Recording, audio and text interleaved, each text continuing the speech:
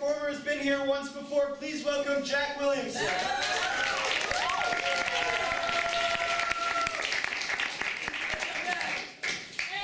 Sir, I respectfully decline to hold your cucumber. How has no one made that joke yet? Stand-up comedian, something's wrong. Um, I'm glad to be here. To be here. But, um, I'm glad to be here. Done with midterms, which is nice because I can probably take about none, no more of this shit that's going on. I mean, I, I'm nervous about the type of person school's making me into.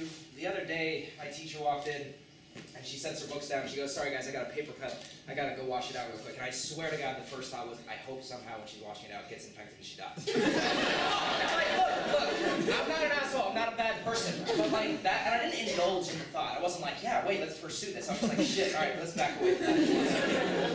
It's like that's. I, she's a lovely person too. I'm sure she's great. She's very nice, but I absolutely hate her. I hate her so much just because we're fated to be enemies because of what she's the reason I'm awake at 9 a.m. every morning. And it's not good, so I'm afraid of that. I'm afraid of that type of person. And it's not good because my war cry for life turned from a hopeful, you know, like, you know what, we can do anything we set our mind to, into, fuck it, I mostly don't give a shit.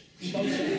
And it's not, that sounds bad, but it's only mostly. Because the other stuff I care about, I care about way too much. Like, way too much. And that's because my parents, when I was young, always said stuff to me like, you know what, you gotta make the most out of every day. Every day's a gift, you gotta make the most out of it. And I figured out what that really meant once when my grandfather, who was a Marine and like killed people for the CIA later, uh, he said to me, hey, you know what that really means? You're gonna die one day, don't fuck around.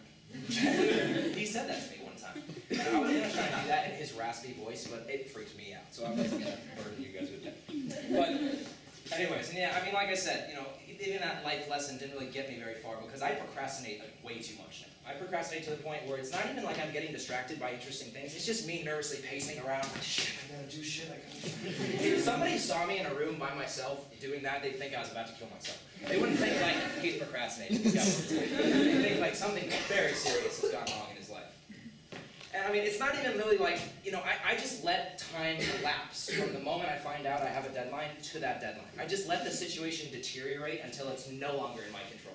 And that's that's not a good way to go about to go about life because it's not even like, well, you know what, it's out of my hands now, and it's not it's out of my hands because well, I've worked hard and done everything. It's that I've just allowed time to go by where I haven't done shit like at all.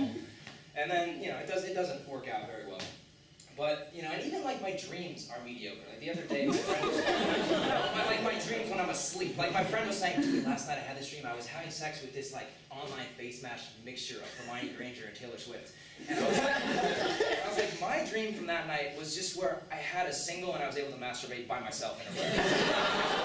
Not have to worry about preparing the excuse for my roommate, who's here by the way. And not have to worry about that excuse like, oh, why is the door locked? I was changing and I just forgot to unlock it. Like, it's, like, it's not a big deal. It's like the lotion, not not mine, somebody else. Like, but I mean, so that's those are my dreams. I think I don't know. I'm depressed. I think because I miss my dogs. Honestly, I miss my dogs more than I miss any people in my life at all. And that's, I think, you know, my dogs are just the happiest people in my things in my life. I think of these people, but people always ask me like, why do you think dogs are so happy all the time? And that's like the easiest question in the world to answer, and it's because dogs have no idea they're gonna die until the second that they're dying. Like, has anyone thought about that? Like a dog, a dog is, is dying, he's like, something is wrong. they don't know, they're like, oh, I'm dying. It's just like, something is fucked up. I'm gonna go over here by myself and die. Dogs do that, they go off by themselves and die. And I think about like before they were born, and if this is how that works. God gets them, it's like, all right, Bush, your paperwork's looking good, you're ready to go down to earth, it's looking good, but one thing, just when you're down there, just have a good time. Don't worry about anything else. Like people are gonna mention death doesn't apply to you. Not at all related to you whatsoever. Then the next person comes along, oh, what is it next? Oh, we got a human? Alright, I'll tell them the same thing I tell them all. They forget it the second I get down there. Alright, Jim, you gotta just not kill anybody. That's all we used to try and give you a speech about morals and glorifying me. Now just please don't kill anyone. And if you're gonna do it, please don't say it's for me. It doesn't make any sense. I tried to put a little religious commentary in there. no, I mean, yeah. It's nice living in New Haven. I, uh, I was in ROTC briefly my freshman year, and I dropped out after like two weeks because uh, just not the right time for me, and also mainly because of one event with my uniform situation. I had to get my uniform tailored, and they sent me to one specific tailor, which was a dry cleaner and a tailor. So I show up and I'm like, hey, can I get my clothes tailored here? and she says, uh, "This is a woman who owns a dry cleaning establishment." By the way, she goes, "Oh, sorry, I don't do that anymore, even though it's on the door. I don't want to be responsible for people's clothes." Like a dry cleaner, so cleans clothes for a living said, "I just I don't like the responsibility of this, like cleaning clothes."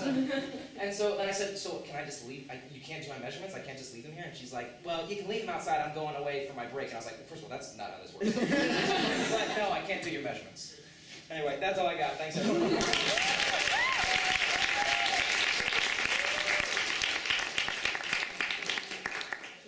Thank you, Jack. Let's give another round of applause. In case any of you are concerned about the state of the cucumber, it's now weirdly soft, which is what the are